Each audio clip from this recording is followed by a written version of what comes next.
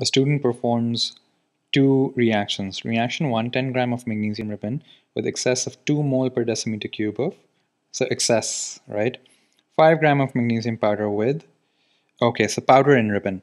So which will be faster? This is going to be faster, but it's more quantity. It'll also produce, I am not the smartest man, am I? The powdered one will be faster and this one is going to be slower because it's one solid ribbon. And but this is going to produce more volume of hydrogen. I think that's what you're measuring. And this is going to produce less. Okay so experiment one produce is slower but uh, produces more. And the second one okay let's take a look. Okay this experiment one is slow but they're both producing the same amount. That's not going to happen. This is out, producing the same amount. Okay, C, different amount. Reaction one is, they're actually at the same rate. They're stopping at the same rate. That means uh, they're both powdered form. That's out. Okay, D is slower, definitely. 2 is much faster, but produces less. Uh, correct answer is, correct answer is D.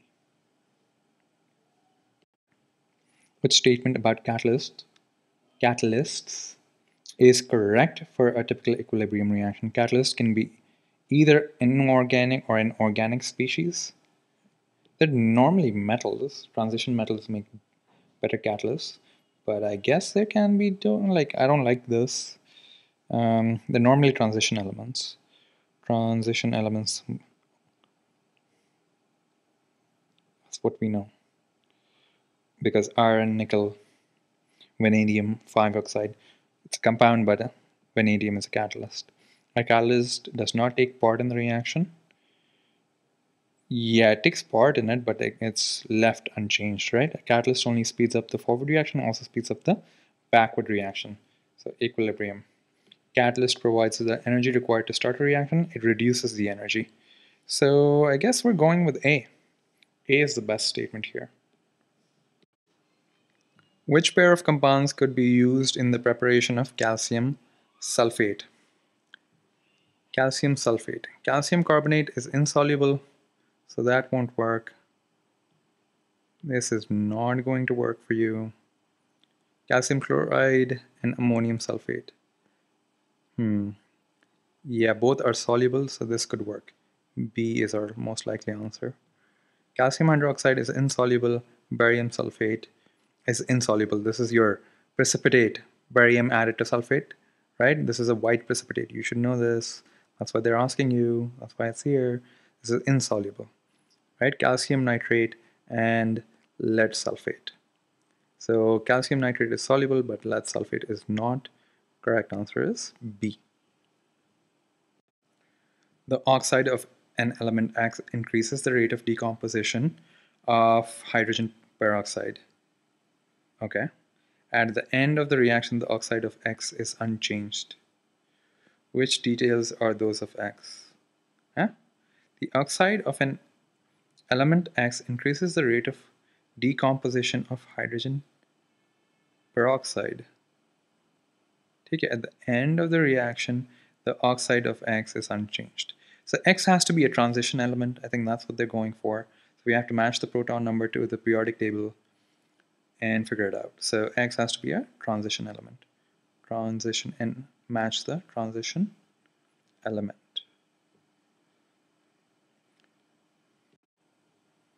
So looking at the periodic table, this is argon. And then we have 20 is calcium. Calcium. Then 25 is actually manganese. Manganese. Manganese. You know, fun fact, manganese is the same thing you add to ice cream to give it that mangoish flavor. That's why it's called manganese. Uh, 82. 82 is lead. Right? So C and D, I'm joking about manganese. Of course, it's probably poisonous. Don't take me seriously. Okay, lead is has the correct mass number and manganese has a mass number of 55. That's also correct. I'm not sure why I'm worrying about lead. Manganese is a real transition element. All right. Correct answer is C. An alloy of copper and zinc is added to an excess of dilute hydrochloric acid. Which observations are correct?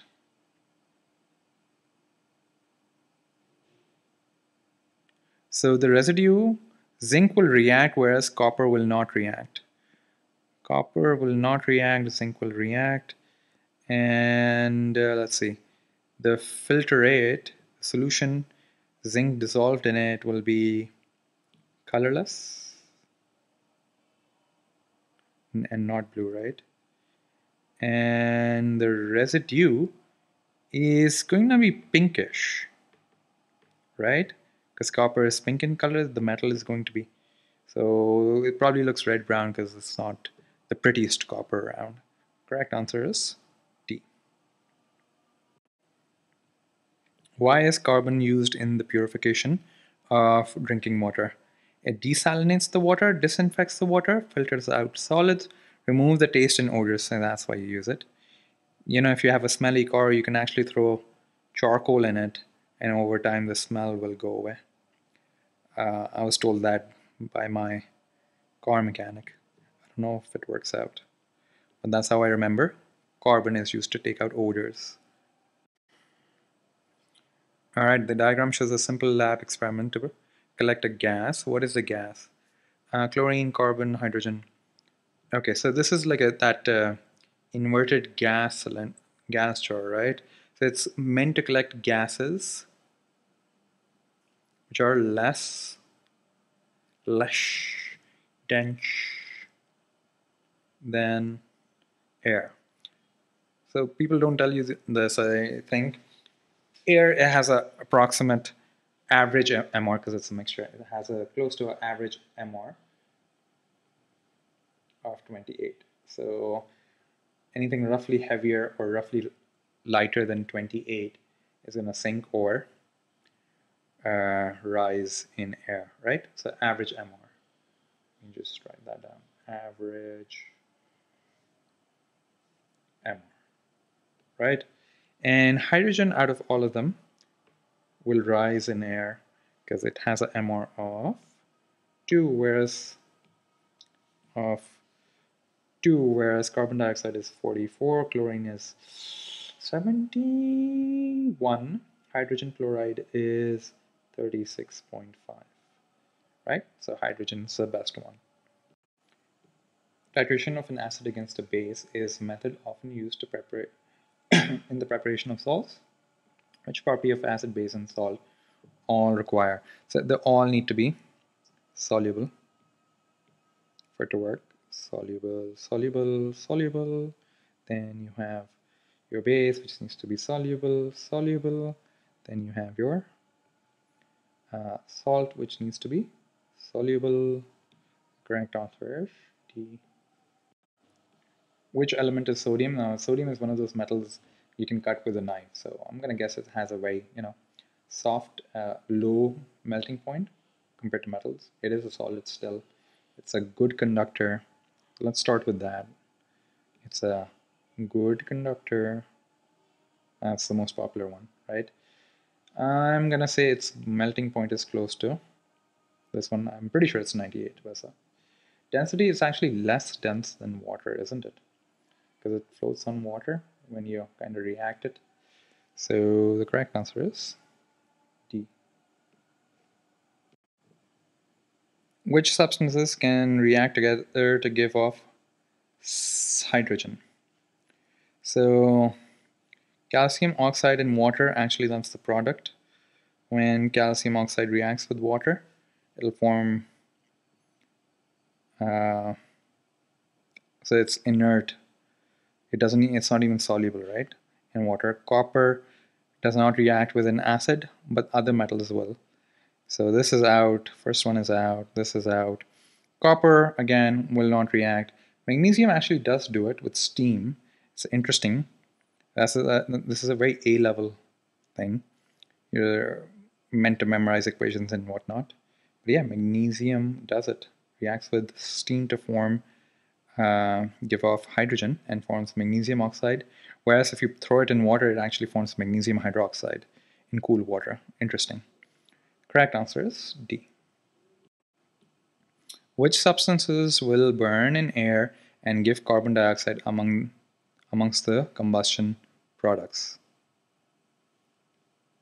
Calcium carbonate, when heat, it won't burn. Calcium carbonate doesn't burn. Ethane, ethanol, methanol. So 2, 3, and 4, D is our answer.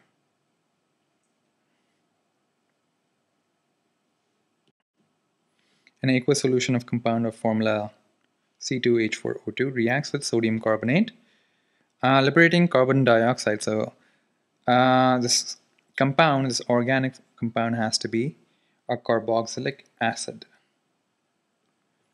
So I am looking for an acid. There we go. There we go. D is an ester, B is a freak of nature, and A is a diol with a double bond. Interesting. Uh, C is our correct answer. This is a question that's repeated from an older year. Hydrogen can form both H plus ions and H minus ions. Which one of the following statement below is correct? An H plus ion has more protons than an H ion. It's the same protons. Fun fact, an H plus ion is actually just a proton. It's just a proton. Because a proton is just one proton with a with an electron around it. Right? So when it's H plus, it loses the electron, so it's just a proton. Fun fact. An H plus ion has no electrons. That's actually true. I guess they tweaked the question a bit. That's actually true.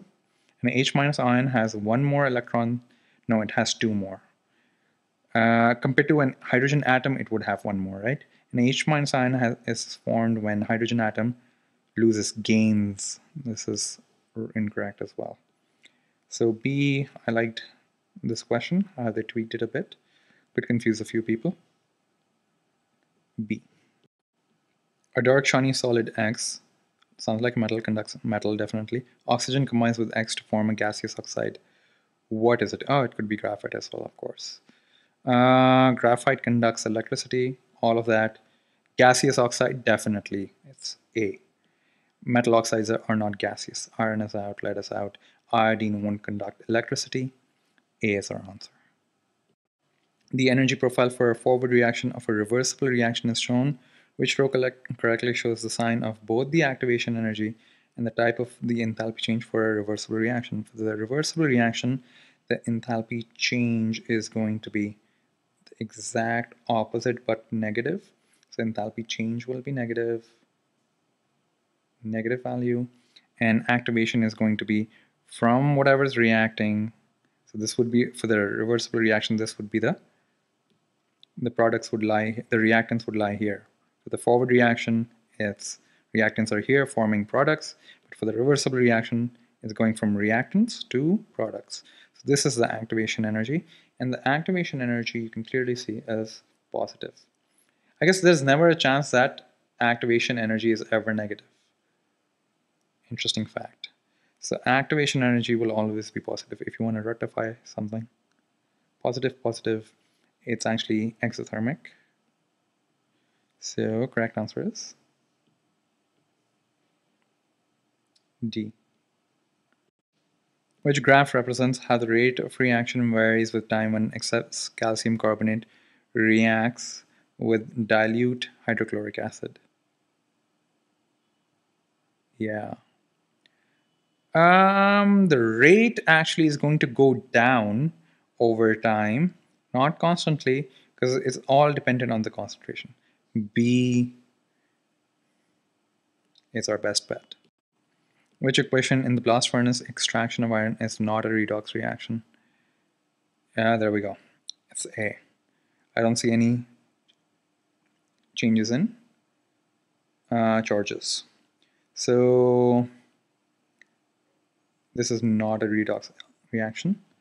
Over here, this is definitely a redox reaction because elements are turning into a compound. So elements will have a zero oxidation state, compounds will not have a zero oxidation state.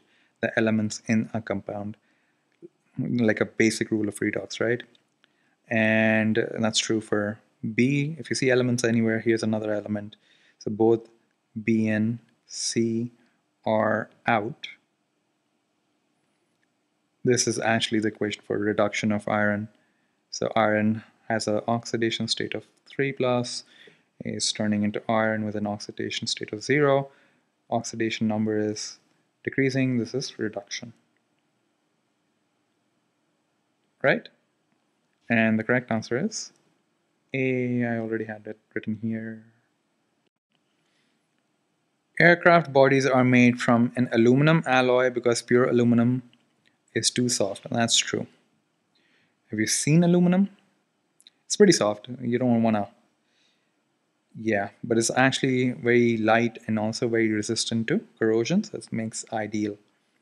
You know, you'll never see rust on an airplane. You'll see it on ships and whatnot, because ships are not made of aluminum. Uh, hey, I wonder why they don't make ships out of aluminum. I guess they don't care. Pure aluminum, because of its high melting point, aluminum is actually doesn't have too high of a melting point. You can just make it out of iron aluminum because but it's not pure aluminum right? But that is the reason is correct. Pure aluminum because of its that's also like a not the reason but a good value addition to our airplane material management which natural process can cause nitrogen oxide to be formed in the atmosphere. Bacter bacterial decay of plants lightning activity yes photosynthesis, respiration. Nope. And correct answer is B. One way to remember it is nitrogen has is very stable. It has a triple bond and high activation energy is required to break this bond and make it react with oxygen. So that can only be done uh, in high energy areas where like lightning is one such place and the other one is car combustion engines because combustion engines get really hot and uh, they also suck up suck in air to you know take oxygen and cool itself down. So nitrogen is present in those heats high heats